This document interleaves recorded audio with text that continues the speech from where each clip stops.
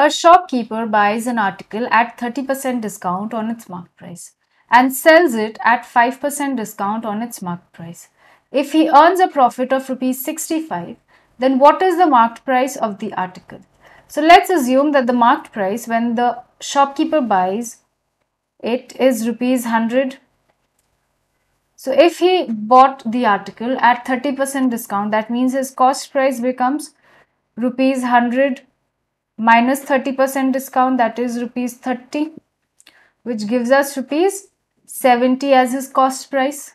Now he further sells the article at 5% discount on its marked price. That means his selling price becomes rupees 100 minus rupees 5 that is 5% of 100 which is rupees 95.